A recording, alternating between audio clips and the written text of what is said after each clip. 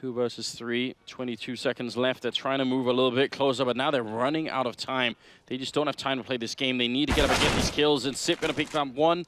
Leaves Taco one versus three. And he has to either save the AWP or get himself killed in the next 10 seconds. It's gonna be it.